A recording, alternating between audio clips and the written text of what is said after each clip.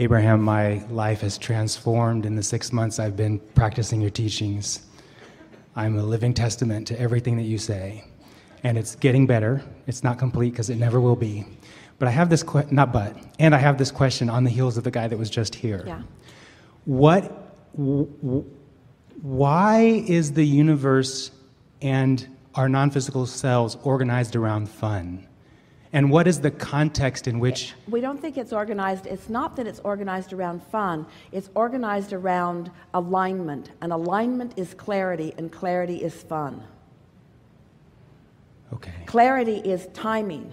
Clarity is detail. Clarity is precision. Clarity is excellence. Clarity is, is expansion. And so the law of attraction insists on more that is like it.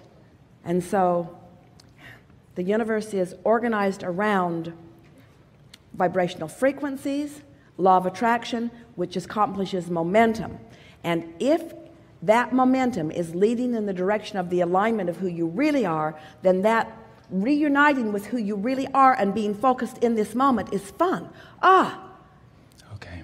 it's sort of like going to play in the snow and having all the snow gear so that you're, you're warm. So, so that preparation that was before now, in the moment of now, doesn't detract from what's happening. It's, it's like that. It's like unless you have taken the time to align with all you really are, then in the absence of all you really are in this moment, there will be less fun because there will be less clarity and there will be less insight and there will be less appreciation and there will be less awareness. And so, by fun, we mean, by fun, we mean fullness, wholeness, mm-hmm. allness, mm-hmm. bigness. Mm-hmm. Got it. So, so the follow-on question is, and this one might be too much for my limited human mind. What is the the? If you can ask the question, you can receive the answer. Okay, that's great then. So, what is the context in which that fullness, wholeness exists? Like we are here on this planet, and this planet is in this solar system. The solar system is in the, is in the cosmos. The cosmos, I think, fits in something. Where does non-physical? What is the context in which non-physical sits? It's in every particle of everything that you know as reality. But, but you have, in order to really understand this, you have to separate consciousness from what you want to call physical manifestation. That's why we want to call the most important manifestation that you will ever experience emotion. Emotions. Because emotion is a, is a in other words, a feeling is something that, that, that is not tangible in the sense that a car is or a mm-hmm. chair is, and yet it's the reason for everything that you desire is to produce that feeling. Got it. And so it's beingness. It's consciousness, beingness, it's vibration. So, first there is, we're just going to talk about this in a sort of scanty way. First, there is, let's say, vibration. And it's not that focused, and so it's not that interesting. But if momentum is allowed, non resistant momentum, so it's not zeroing itself out, it's allowed to gain momentum, the vibration will become a thought. Mm-hmm. And simultaneously, the thought can be translated or understood or perceived or comprehended in the form of emotion. So, vibration to there. Now, certainly there are other ways that that could be explained with more detail, but we don't think anything that you need to think about is we don't think there's anything more than you need to think about other than that vibration that was allowed momentum became thought and emotion. So that's creation. And but now it has become thought, now it's focused. Now now in focusing upon that thought, now inspiration begins to flow. And what inspiration is, is just the increase of the momentum of that thought. So now the thought is turning into something more.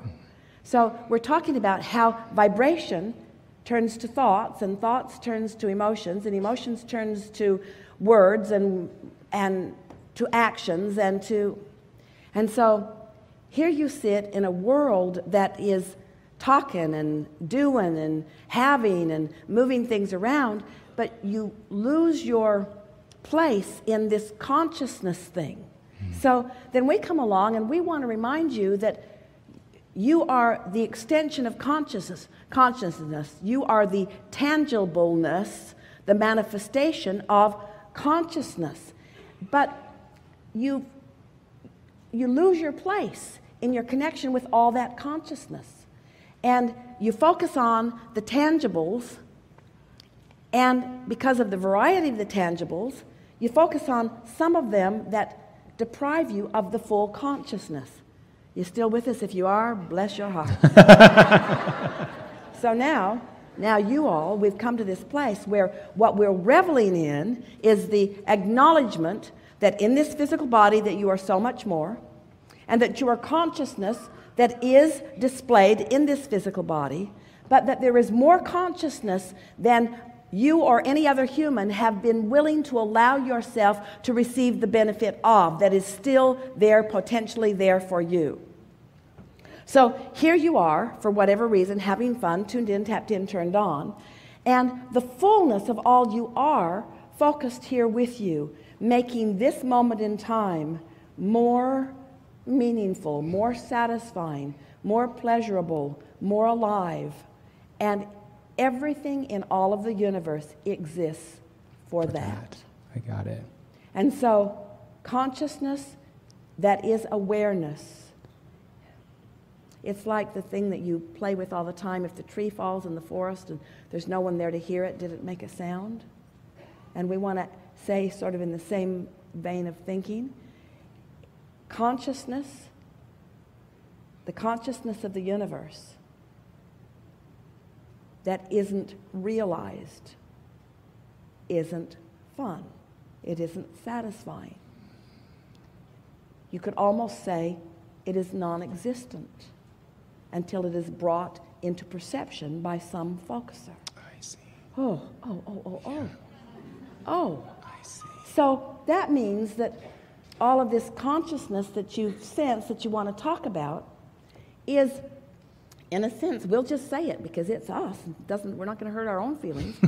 it's meaningless mm. without this focused place. You, when we say you are the leading edge of all that we are, we mean you are the realizers of all that we are. And all of the consciousness that is us is focused in this moment. That's why it's so big. And that's why it feels so good when you let it flow, and it feels so bad when you pinch it off. I feel that. So it's it's are we the are we the only things in the universe that is on that leading edge here on planet not not just in the, all the universe is planet Earth the only place where the leading edge is taking place? No.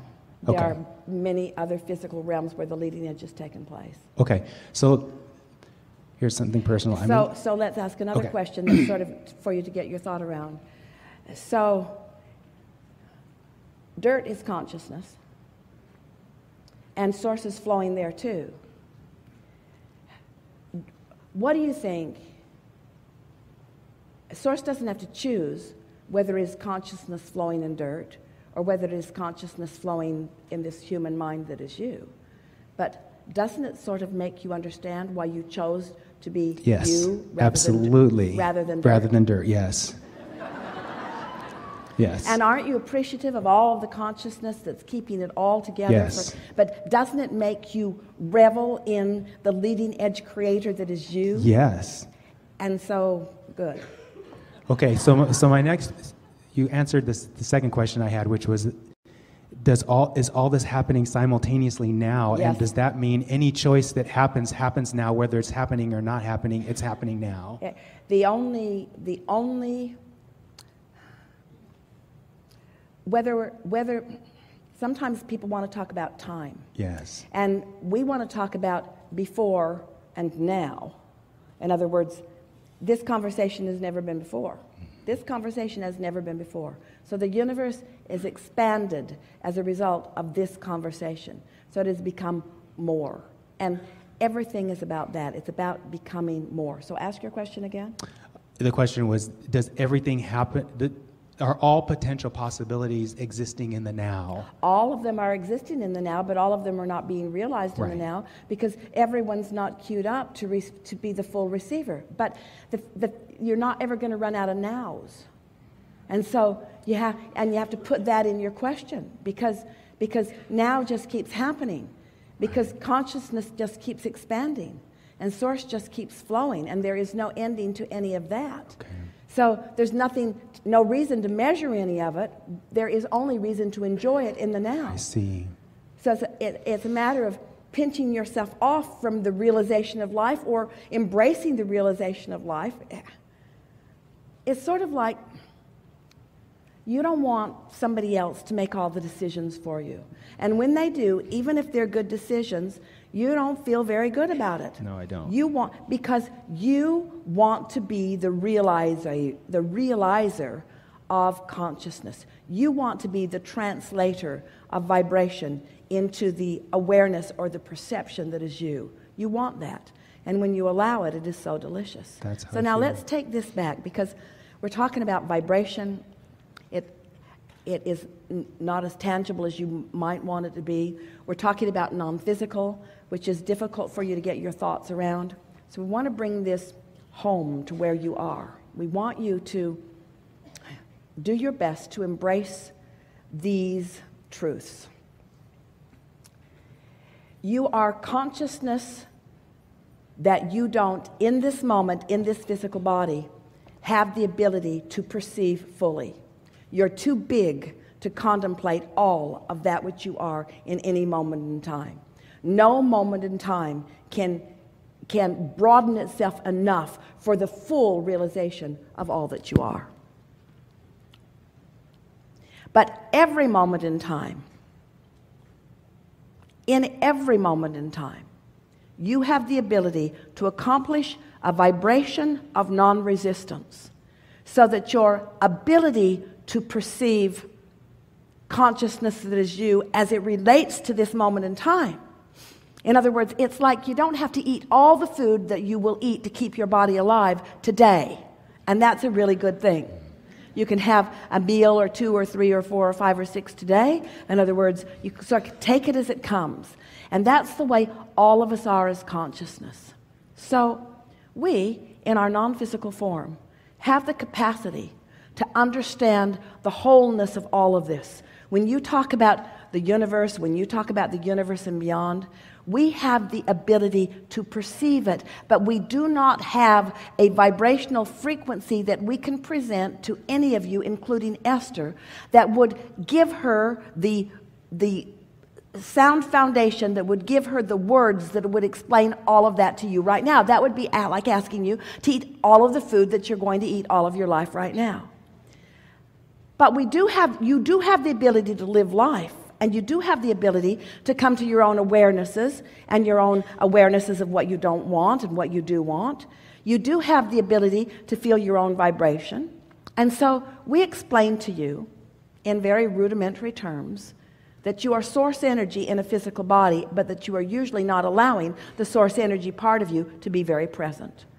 And then we spend all of these years and write all of these books with one singular intention in mind. We want you to soften up enough, enough to allow all that you are to be present. And that's enough. Because not one of us ever said, we're going to contemplate the entirety of the universe all at once. What we all always said. It's what you said when you decided to come. It's what we're saying to you now. And it's what you know best of all. This leading edge place is where it's all at, right here and now. The components that surround you, right, all of us, right here and now, that's enough. Okay. It's enough for the satisfaction of all.